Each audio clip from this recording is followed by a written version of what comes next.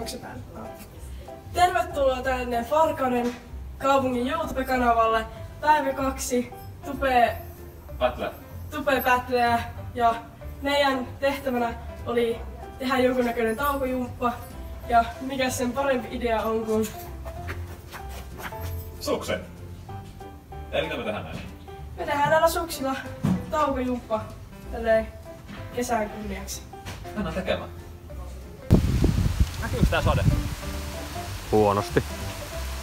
Meidän battle ilmeisesti perutaan, koska on niin huono sää, mutta se ei meidän jumppaamista estä. Eli kaikille teille Varkauden kaupungin ihanille työntekijöille, tässä on teille taukojumppaa. Sukset käteen ja teette vähän haarahyppyjä.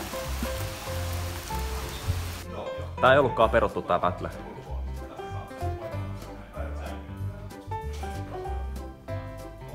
Tehdään sittenkin. Ei, ei loppunutkaan. Ettikää joku rauhallinen paikka, mistä ei ole minkäännäköistä häiriötä. Esimerkiksi vaikka tää kirjasto täällä. Kauppaan. Miten näitä ajetaan? Ensimmäinen vaihe.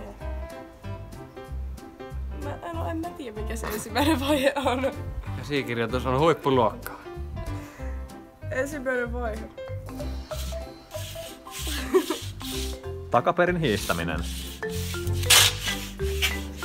Oh, onpa aggressiivista. Hiihdä kunnes tulee pöytä vastaan. Noniin. Noniin. Tää lähti hyvin. Taakojumma toinen osa. Suksen veto.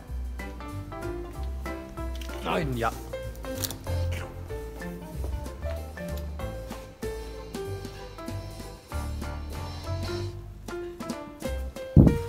No niin, kiva kun tulitte katsomaan tätä videon.